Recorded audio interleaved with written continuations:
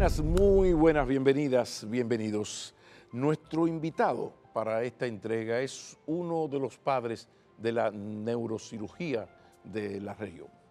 Es también uno de los padres del Olimpismo Nacional y si algo faltaba es caballero de fina estampa que conoce muy bien, conoce muy bien el secreto de trascender sin ofender, siendo siempre como ha sido un referente ético para la sociedad dominicana.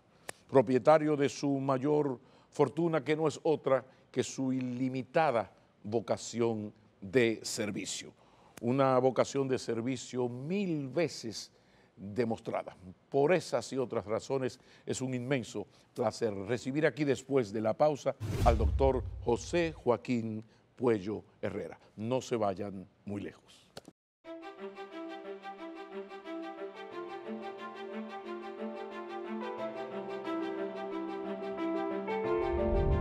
Buenas noches, doctor, doctor José Joaquín Puello y Herrera. Qué gran placer, porque yo le debía y sobre todo usted me debía esta entrevista. Bienvenido. Gracias, creo que es la segunda vez hicimos uno, ¿verdad? Pero hace, pero hace digo, de cualquier cosa hace 20 años, en verdad.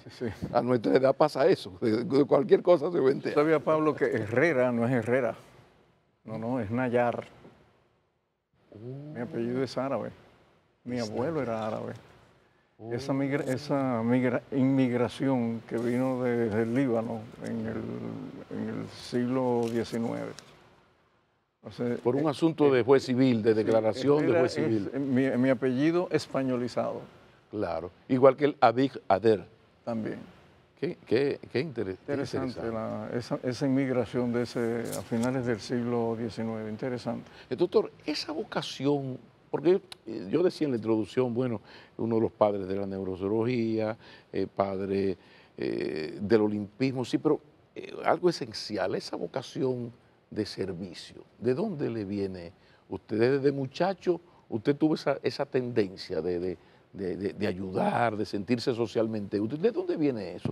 Los viejos suyos, ¿de dónde era la cosa? Yo soy como el hijo, el primer hijo del padre de la neurocirugía, que fue Ney Arias. Yo soy su primer hijo, oh. pero en el sentido real, académico, académico. O sea, trabajé con él y por él me fui al extranjero. Entonces yo soy el segundo neurocirujano que llega al país. En cuanto a lo otro, sé, yo aprendí de mis padres muy tempranamente en la vida que usted tiene que trazarse metas a favor de la comunidad. Mis padres fueron maestros, pero, pero no... Ya, llegamos otra vez. O sea, sus padres... Los dos. Fueron maestros. Maestros por décadas, por décadas. y eso se transmite. Sí, pero no en la capital ni en Santiago, no. En Jimaní, en La Descubierta, en Neiva, en Polo, en Salcedo, en Gaspar Hernández, en Puerto Plata, en, en Asua, en San Cristóbal, mis padres viajaban de una ciudad a otra como maestros. ¿Los iban Porque trasladando? Trujillo era la época de, la dictadura y Trujillo no permitía que los, que los maestros se quedaran más de seis meses en un sitio. No lo permitían. Y tenía una condición interesante y es que el maestro en esa época podía enseñar a sus hijos, entrenarlos en la casa. Lo que quiere decir que muchos de nosotros de esa época, hijos de maestros, podíamos hacer dos cursos en un año. Interesante. Interesante. Por eso usted se graduó de bachiller muy jovencito. Sí, a los 15 años. por ahí viene la cosa. Y la vocación para la lectura. E, eso también se aprendía en la casa. Sí, en la casa. El, viejo, era un lector voraz, le gustaba mucho leer. Y, la mamá. Entonces, en la hora de la comida había que narrarles el libro que tú estabas leyendo. Y te hago una anécdota que es interesante para los jóvenes que no están escuchando. Yo todavía repito de memoria, y no lo digo como un, un autoalago, capítulos de, del Don Quijote, porque me hacían repetirlo en la hora, en la hora de la comida.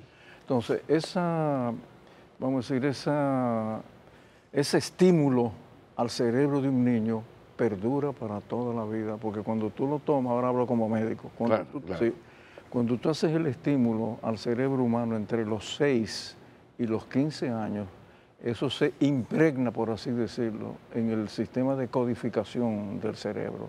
y eso te forma inmediatamente y permanece contigo para toda la vida. El cerebro conserva esa memoria. Entonces esa memoria se repite una y otra vez porque el cerebro humano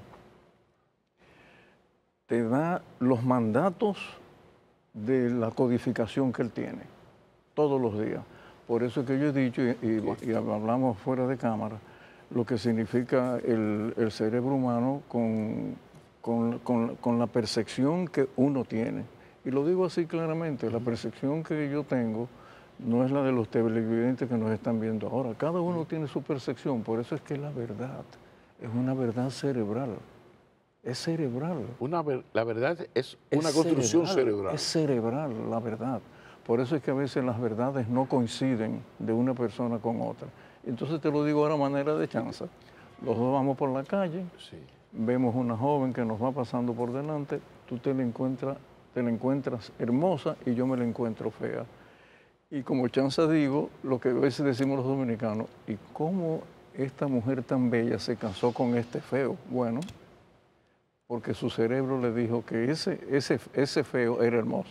Interesante la, y tiene una explicación además. Y, de ahí entonces habrá que rescatar eh, el valor de la crianza y de el, buen ejemplo en una casa, sobre todo en esa época formativa. Es determinante. esencial. Y entonces, ¿qué hacer en una sociedad actual donde eh, el matrimonio está en crisis, las relaciones de pareja están en crisis y la misma familia en cuanto a compartir, porque usted puede tener eh, una familia, pero trabaja 18 eh, horas y no puede compartir. Esta, nueva sociedad, ¿cómo está afectando todo esto? ¿Quién sustituye a los padres? El maestro. Y tú y yo recordamos, ¿tú no recuerdas a alguno de los maestros?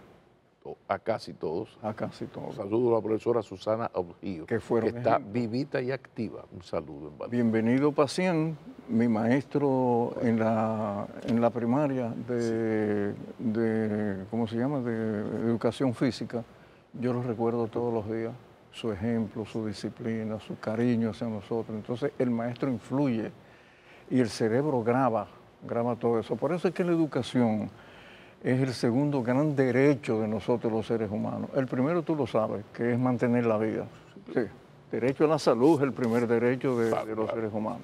Ahora bien, el segundo gran derecho es la educación. Y de ahí viene entonces, eh, un poquito para traspolar el diálogo, ahí viene entonces lo que nosotros eh, se dice constantemente. Si hay un ciudadano dominicano que tiene que tener una formación ejemplar, es el maestro. El maestro es la extensión de, nuestro, padre.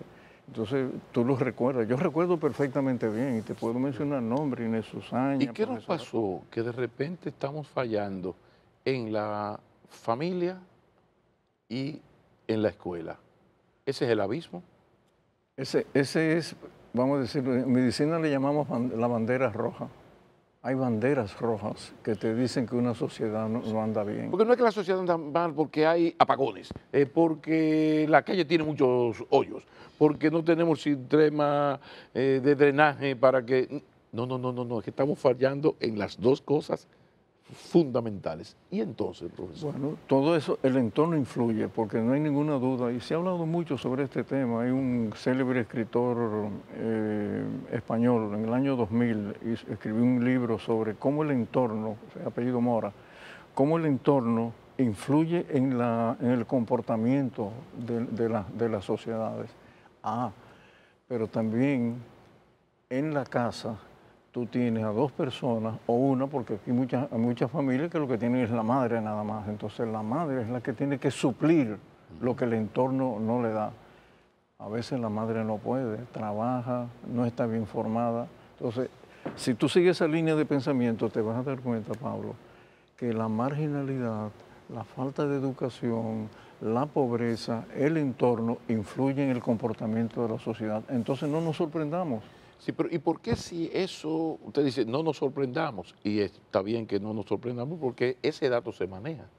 Entonces, ¿qué explica que las sociedades nuestras, manejando esa información, han permitido ese, esa alienación, esa e- eso que la gente viva excluida de la sociedad, unos muchachos sin figura paterna, sin figura de autoridad, esta marginalidad no solo económica, sino afectiva, porque papá no está, porque se fue un día, pero mi madre trabaja 10 horas para poder buscar la comida. O sea, eso lo sabemos hace muchos años. Sin embargo, no se toman las medidas y cada día la sociedad se va transformando, aunque seamos menos pobres que nunca.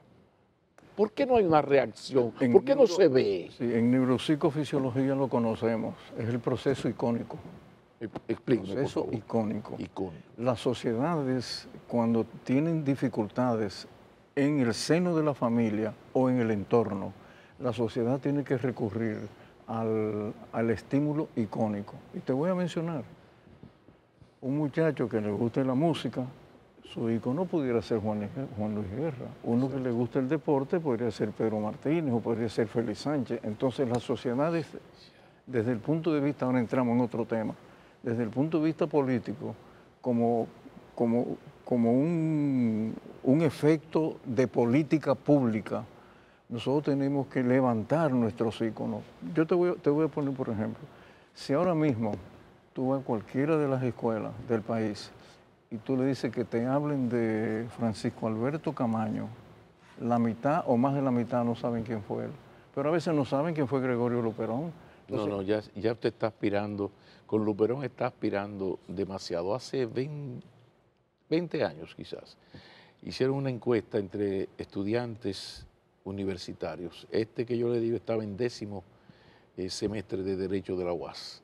Y le preguntaron por Francisco Alberto Camaño. Él dijo, yo no estoy muy seguro, pero creo que fue un guardia que tiró unos tiros ahí en el puente. Estoy citando. ¿eh? Le doy ese ejemplo para la- presentar la magnitud del desastre. Entonces, como política pública, nuestro, el Estado dominicano tiene que tener un plan, un plan de, esas de- de- de los que han sido nuestros grandes íconos, que la gente sepa quiénes fueron y martillarlo. La gente tendría que saber quién fue Fabio Fiallo para comentarte solamente uno de los poetas eh, icónicos de, de hace muchos años. Pedro Mir lo conocen porque la gente lo menciona constantemente, pero los jóvenes nunca han leído un poema de Pedro Mir. Pero ¿qué ha fallado? ¿En qué hemos fallado? Que la ampliación de la cobertura, por ejemplo, en salud, se ha pagado con una pérdida de calidad de la educación. Ahora es verdad, hay más escuelas, hay más oportunidades. calidad ha Pero bajado. entonces la calidad, La calidad ha bajado. Y algo peor, por favor, doctor, lo icónico. Sí, el problema es que no voy a mencionar nombres, pero los grandes íconos de nuestros hijos y los que vienen subiendo no son, no se llaman Juan Luis Claro. no se llaman Michelle Camilo, son impresentables que yo no me atrevo a, a mencionar, porque, porque no, pero además reconocidos ya internacionalmente con sus inconductas. Sí. ¿Y ento- a dónde va el buey que no Mira, una, mira una de las causas, la comunicación a través del teléfono. ¿Qué tú lees en, en los twitters y, en, y en el, en el Facebook y los comentarios que hacen? Entonces estamos dominados por un barraje de, de malas informaciones que no nos llevan a reconocernos como, como nosotros debemos reconocernos como hombres y mujeres. Entonces también eso es- sería parte de la, de, la, de la política pública. Y eso tiene que ser como una, tiene que haber una comunicación del Estado, o sea, de que, que la educación conjuntamente con la salud, y ahora y te voy a mencionar la tercera parte del trípode, eh, debe haber una política pública que nos conduzca a mejorar el comportamiento, el interés, eh, e- el ideario de, de los, de los jóvenes eh, dominicanos. Y, y las cosas, y las cosas tenemos que reconocer es diferente. Los muchachos de ahora son diferentes a nosotros. La música que tú oíste cuando oíste- escuchabas cuando muchachos no es la que ellos escuchan ahora. Entonces tiene que haber ahí Y los mensajes de esa y- música. y los, men- y los mensajes de, de esa música. Pero después de la pausa, vamos a hablar de las políticas públicas para enfrentar esa realidad que usted acaba de presentarme, por favor. Correcto. Ya regresamos.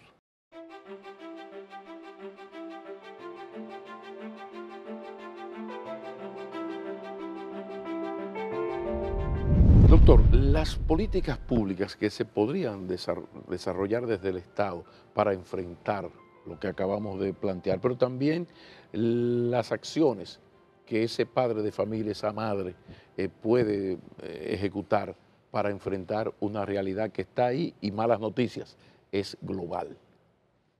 ¿Qué podemos hacer? Mira, esa, es una pregunta que yo me he hecho por muchos años y yo tengo una respuesta y la voy a decir aquí. La respuesta de Pablo. En las escuelas nosotros deberíamos tener profesores que hayan leído a Arnold Toynbee. Oye, Pablo, Toynbee, para la gente que nos está escuchando, filósofo, historiador, pensador extraordinario, extraordinario europeo, y escribió un libro la decadencia de 20 civilizaciones. Pablo, el común denominador fue la educación, la mala educación.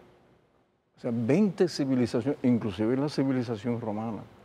Y él, dice en, en, esa historia, cuando tú llegas al final, te das cuenta que las grandes civilizaciones fueron decayendo en la medida que no se educaban a los, a, los jóvenes que venían subiendo. Y ha sido así. sí, de ahí venía todo lo demás que nosotros conocemos, ¿no? El comportamiento, la corrupción, los malos hábitos, Pero todo la, violencia, etcétera. Que hay un elemento que tiene que ver con la ampliación de la cobertura, casi siempre en detrimento de la calidad incluso en los países desarrollados, salvo que esos países desarrollados, eso sí, mantienen el cuidado a las élites pero la, educación general, en la medida en que mejora la calidad de la cobertura, disminuye la calidad de la educación en sí.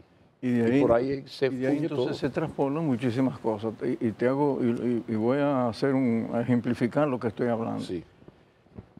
En Inglaterra, porque ahora viene también con las normas que rigen la sociedad, porque las sociedades tienen que tener normas y leyes pero perdón, hay que cumplirlas, no es solamente escribirlas. En República Dominicana nosotros tenemos leyes y normas prácticamente para todos, pero no se cumplen muchas de ellas. En Inglaterra, cuando nombran un juez, él cambia de nombre. Si él se llama, por ejemplo, Robert, eh, Robert White, él entonces, el Robert desaparece y su nombre de en adelante es Justice, justicia. ¿Por qué? Porque los símbolos en una sociedad son importantes porque elevan realmente la percepción de la gente sobre lo que están dirigiéndolos eh, a un país. Y mira, Pablo, los países, los países caminan como van sus líderes. Bueno, te puedo dar un ejemplo, África. No es posible ahora recientemente, uno de los golpes de Estado en un país africano, en Gabón, donde el presidente había eh, hijo de un dictador de treinta y pico de años y en un país obviamente con grandes carencias educativas, el hijo entonces asume la presidencia con los errores que el padre cometía. Le dieron un golpe de Estado. Entonces de eso se trata también, de que uno tiene que fijarse un poco en la historia, si uno quiere realmente eh, crecer. Y la historia de nuestro país está plagada de, hechos trascendentales, pero también de, muchos errores que hemos cometido. Entonces, eso hay que conocerlo para tú poder hacer que esta nación crezca. Y nuestros políticos tienen que, conocer cuál ha sido el, derrotero que nosotros hemos tenido a través de los años, para ir, como, como hacen los pilotos, el checklist. El checklist, exacto. Sí, chequeando lo, bueno o lo malo que ha sido para cuando se monta en el avión no, no falle el avión. Pero ¿hasta qué punto todo esto ha tenido que ver con una, con una tendencia pendular de las sociedades? Por ejemplo, de la sociedad victoriana, ¿eh? Pasamos a la sociedad actual eh, de Inglaterra, del Reino Unido, con eh, estos excesos. O sea, como que uno siente que la sociedad viene de, de aquí y se va para acá. Y esto supone uno que va a llegar a un nivel, a nivel global de deterioro, que volveremos otra vez a recogernos. Porque al ritmo que uno siente que va la sociedad, tú dices, bueno, esto tiene que explotar mañana o, en cinco años, pero en algún momento, como vamos, no podemos, no podemos seguir. Porque eh, destáqueme, por favor, el elemento individual. porque el socialismo, el marxismo, eh, afectó mucho el asunto de lo colectivo, en el sentido de que la gente se quedó mucho en lo colectivo, se olvidó de lo individual, de, aquello de Gandhi, que tú tienes que tratar de ser el tipo de ciudadano que tú le exiges al otro que sea. ¿Hasta qué punto esos elementos son parte de la explicación de todo eso? Influyen en el comportamiento humano. Y te voy a poner ejemplos, ejemplos que yo viví siendo todavía un joven en la escuela de medicina. Tú sabías, Pablo, que lo que más impactó, nos impactó a nosotros, estoy hablando del año 58, 59. Entonces, ¿qué fue lo que más impactó a la sociedad dominicana? Los jóvenes que, murieron en, la invasión de Maimón, Esterondo, el 14 de junio. Eso nos impactó. Nosotros no sabíamos lo que era la libertad hasta que ellos vinieron. Y eso nos impactó de manera, bueno, brutal a la juventud de aquella. Todos fuimos fidelistas, queríamos ser revolucionarios, irnos a las montañas. Pero también hubo otra ocurrencia aquí en el país que impactó a la nación. Y te voy a decir. Juan Bosch. A la gente le puede gustar o no Juan Bosch, pero estoy hablando ahora del político, del político, porque el escritor sabemos, ¿no? Sí, sí, bueno, cuando él llega y asume la presidencia, ese primer discurso, cuando él dice que ni un solo de sus familiares va a estar en el gobierno, eso fue un impacto. La gente no lo podía creer. Entonces, él marca, él, él hace como los, bueno, el ejemplo parece un poquito, un poquito eh, sacado de los pelos de la cabeza, pero él marca su territorio, como, como hacen los animales. Marcan, los animales, por cierto, lo hacen con la orina, pero bueno. Pero Bosch lo hizo con la voz. Y cuando la sociedad dominicana oyó a Bosch, la sociedad dominicana quedó impactada. Sin embargo, ¿qué pasó con la reproducción de ese modelo? Porque está esa frase de Bosch pero está la famosa eh, carta cuando él se va del país, que lo han tumbado, y le escribe a doña Carmen que se recuerde pagar los la, mensualidad de los muebles que habían tomado fiado en, en la Curacao. ¿Y qué hombre del carajo es este? O sea, eh, un referente ético. Sin embargo, ese, ese ejemplo que estaba ahí, que la gente lo vio, que se conoció, falló a la hora de ser replicado. Ahora, ¿qué estirpe? Y te puedo decir algo familiar. Cuando Santana fusila a José Joaquín Puello, eh, él está en prisión, entonces él manda a buscar a su confesor y escribe la, carta de despedida que la tiene mi familia. La carta simplemente dice que a las 6 de la mañana va a estar muerto y el segundo párrafo dice que recuerden que al sastre fulano de tal, él le debe dos pesos que se lo paguen. O sea que es la misma línea. Entonces volvemos otra vez. Es la misma estirpe. Ha habido, una estirpe de, hombres y mujeres en esta nación que han, que han marcado su territorio. Pero obviamente hay una parte de la sociedad que realmente no sigue sus lineamientos. Pero ¿y en qué hemos fallado que con esa estirpe, con esa élite de la decencia, de la solidaridad, de la ética, esto no ha servido para reproducirnos porque aquí el deterioro ético ha sido galopante? O sea, yo no sé qué va a pasar con este gobierno, pero hasta ahora uno lo que ha visto es una degradación, de que el próximo supera al anterior.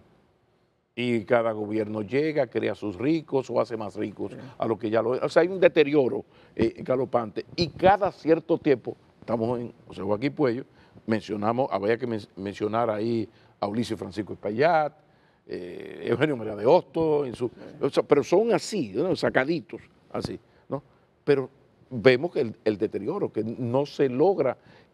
con mi ejemplo, yo mejoro la sociedad, pero ellos no lo han logrado. Incluso, ya un paréntesis innecesario, no debía decirlo, pero el PLD es gobierno no con las prácticas de Bosch, sino con las de Balaguer.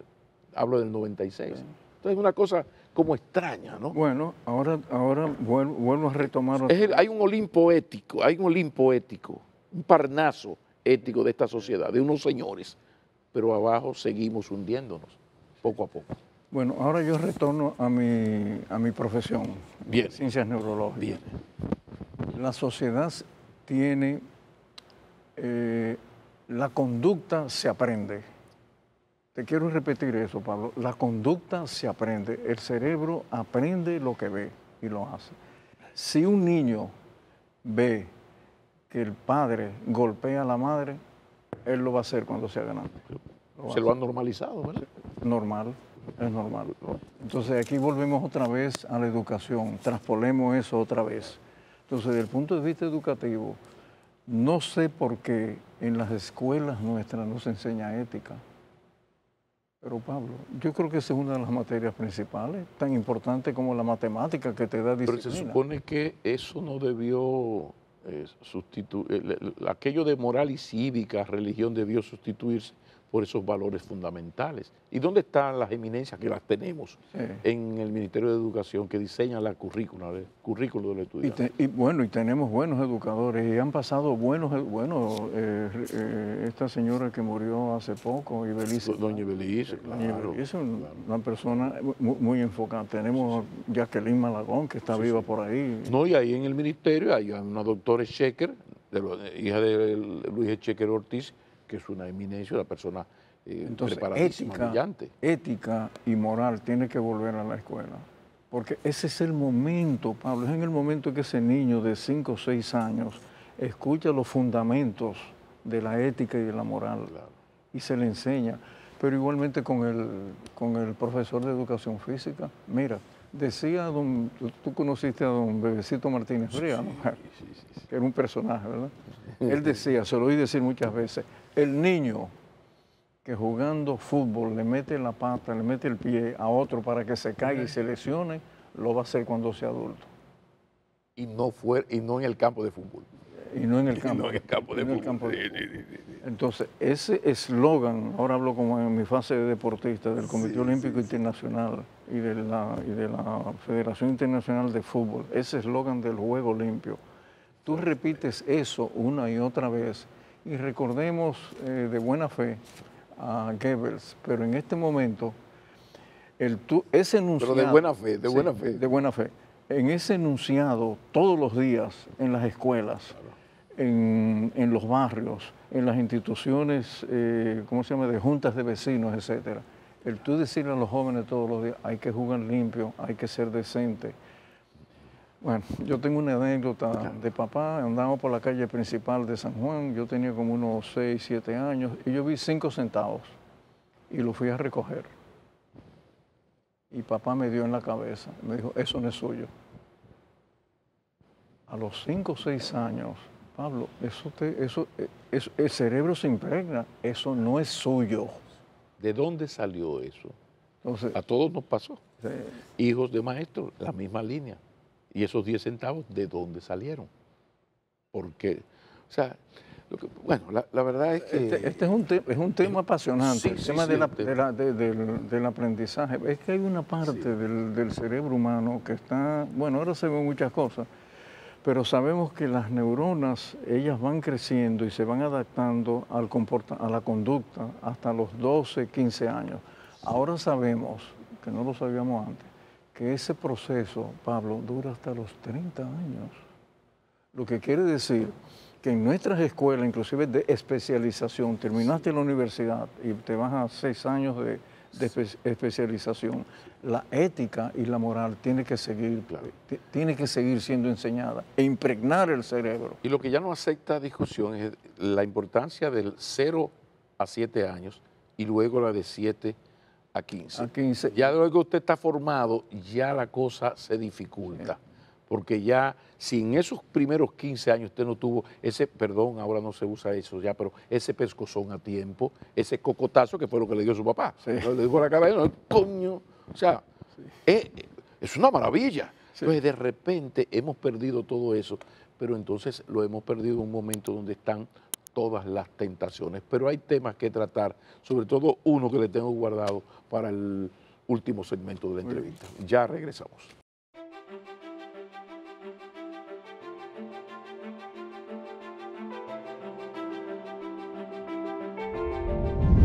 Doctor, eh, el mundo tiene una otra pandemia. Salimos de la, del COVID, pero tenemos la pandemia de la depresión. Hay un problema y dentro de la depresión de la infelicidad. Incluso ahora el tema es la felicidad, dale que te pego para la felicidad. Y alguien dijo que mientras tú más piensas en la felicidad, más infeliz vas a ser. que tiene que ser auténtico, que la pasión, sí, sí, muy bien. Pero desde el cerebro, ¿qué usted me puede decir? Desde el cerebro, ¿qué, cómo sirve el tema cerebral para explicar esta pandemia de depresión, de tristeza, de infelicidad de tanta gente, a veces, a veces por pobreza material o espiritual? Pero ¿Cómo explicar esto, doctor? Yo he sido maestro toda la vida, o sea, yo he enseñado ciencias neurológicas. Y nunca lo ha disimulado. La pregunta que yo le hago a los, estudiantes, y inclusive a los residentes míos de neurocirugía, ¿cuál es la, función principal del cerebro? Entonces empiezan a hablar. Entonces, bueno, la función principal, la principal, es mantenernos vivos. Pero la segunda, la segunda es conocernos. Lo que quiere decir que el cerebro actúa para que tú te sientas bien, pero el cerebro recibe entonces del entorno, por eso es que nosotros somos. Eh, Gasset decía que era uno es uno y su circunstancia, pero si lo traducimos a neurología, uno es el cerebro y el entorno. Entonces, el entorno sí influye. ¿Qué son las circunstancias? ¿Qué son, las circunstancias? Gasset era, era, muy, avanzado para, para su época. Entonces, actualmente sabemos que el sentimiento de, felicidad tiene que ver con lo que el cerebro recibe. La gente no sabe que, y esto yo lo digo por experiencia, que he practicado medicina en uno de los barrios más pobres de la ciudad, que es María Auxiliadora. Pero en María Auxiliadora, que hay muchos pobres, pero hay muchos pobres felices.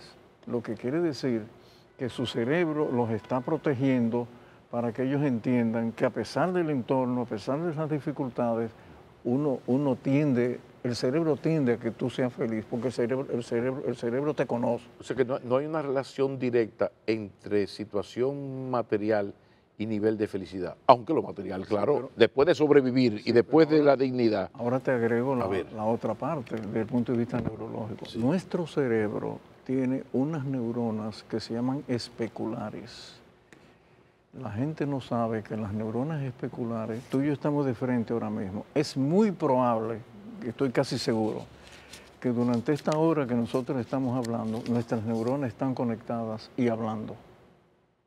Y eso lo sabemos ahora por, primera vez. De ya es científico eso, demostrado sí, científicamente. es no es especulación. Es una hipótesis que fue, que fue probada por un gran científico italiano de apellido Risolate ya hace unas tres décadas. Entonces, nuestra juventud está todo el tiempo, todo el tiempo, conectando sus neuronas especulares con, los demás. Y el cerebro imita, imita.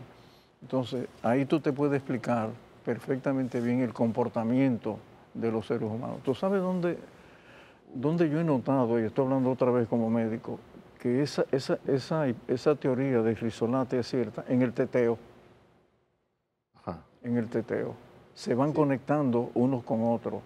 Y una persona tranquila que va ahí simplemente para, de repente, explota. Las neuronas especulares están imitando. ¿Cómo se conoció eso? Porque en el, laboratorio de Risolati, que era un laboratorio de monos para el comportamiento de los monos, un estudiante le dijo un momento determinado, profesor, pero el mono lo está imitando usted. Y ahí fue que descubrí, él descubrió las neuronas, las neuronas especulares. El mono imitaba al profesor. Todos los gestos de que él hacía. Pero que esta es la parte positiva de esas neuronas, en el sentido de que ahora sabemos también que el buen comportamiento se puede imitar. Si un muchacho en formación está en un ambiente positivo, de valores positivos, él, por esas eh, hormonas especulares, me dijo, especulares, va a ir. Por eso es tan importante entonces, corríjame, la disciplina en un aula a la hora de formar a un muchacho. ¿Te puedo poner un ejemplo? Por favor. Sí, la pronunciación de la S al final de las palabras. El maestro que pronuncia correctamente quiénes o plataformas y no plata, las plataformas. Pero el alumno que oye la última S, la S, la neurona la capta. Influye en el lenguaje, que de hecho, de hecho, lo digo aquí desde el punto de vista neuroantropológico, fue la última función que adquirió el cerebro humano. Por eso es que somos diferentes. Los tigres no hablan, los pescados no hablan, las ballenas murmuran, pero no, no hablan el cerebro sí habla. Entonces, eso, ese es una de las, de la, desde el punto de vista de la neurofisiología, lo que significa el maestro en, en las escuelas. Doctor, ¿cómo se puede trascender sin ofender? Eh, ¿Cómo se puede llevar una vida de tanta vocación de servicio, de ser tan socialmente útil y llegar al, otoño con los bríos cada vez más renovados, eh, o sea, con las tendencias, porque también, por ejemplo, en, usted es el médico, es el deportista, pero también usted tuvo como unos amores escondidos con la política, lo único que se aguantó las ganas es como la muchacha que lo pretendía, entonces tuvo ciertos gestos, acercamientos, eh, flores, bombones, pero se resistió. Pero ¿cómo se logra? ¿Cómo se logra? ¿Qué consejo puede decirle, puede darle usted a los más jóvenes para llegar a esta etapa de la vida suya, donde está usted ahora, que tú dices, pero ¿cómo pudo, cómo pudo lograrlo? ¿Cómo puede ser una persona eh, tan socialmente útil en más de una eh, de un área? ¿Cuál es el truco? Eh, comenzar simplemente con una, una confesión simple yo soy un creyente en Dios, yo creo que te traza caminos y tú escoges el camino. Tú lo escoges con, pleno, con un pleno, tu pleno albedrío.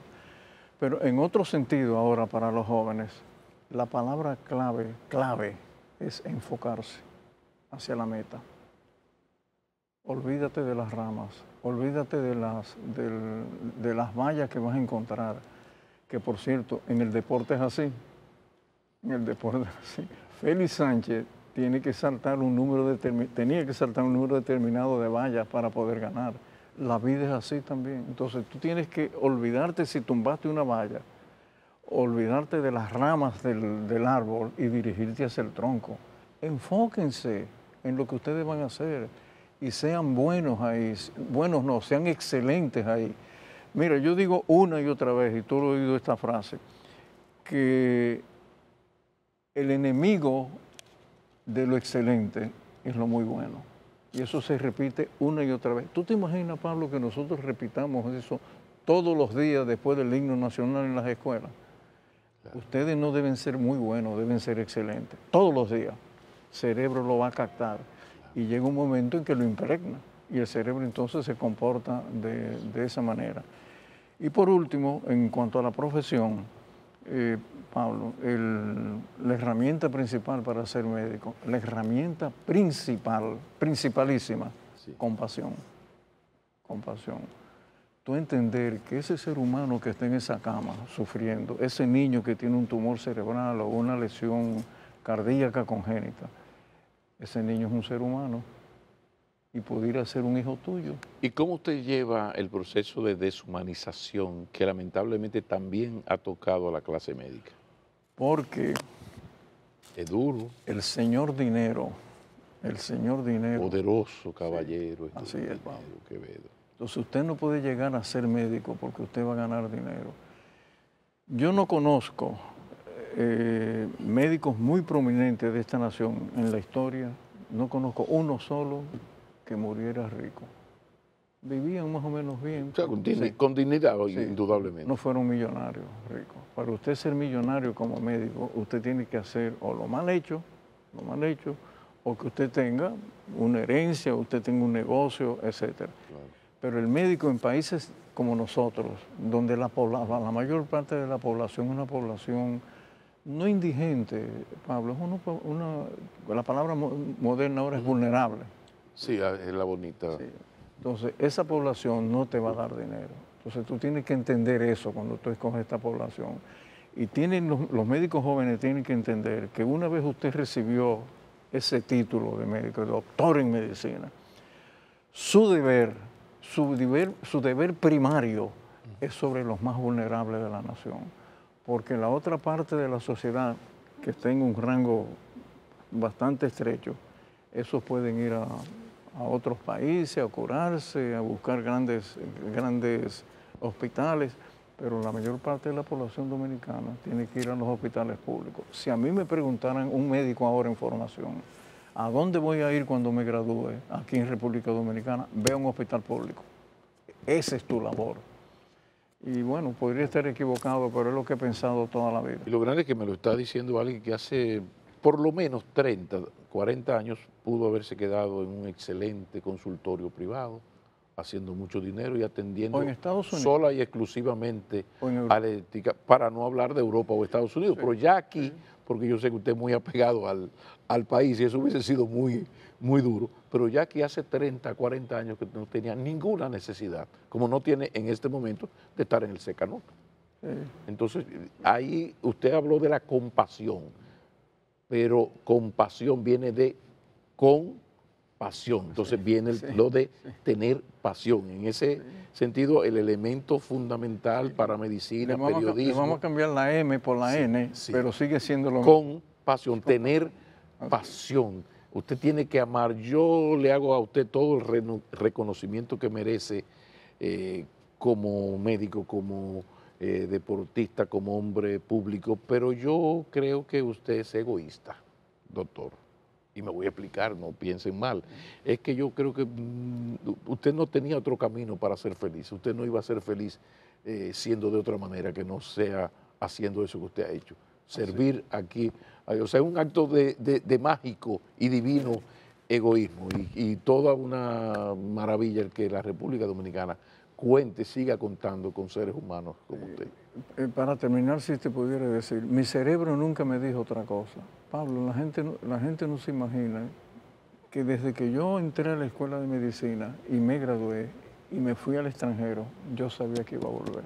Mi cerebro nunca me dijo que me quedara ni en Estados Unidos, ni en Canadá, ni en Inglaterra. Entonces él me dirigió para acá. Obviamente hay otro tema religioso. Por Pero no había otra posibilidad de ser feliz. Muchísimas gracias.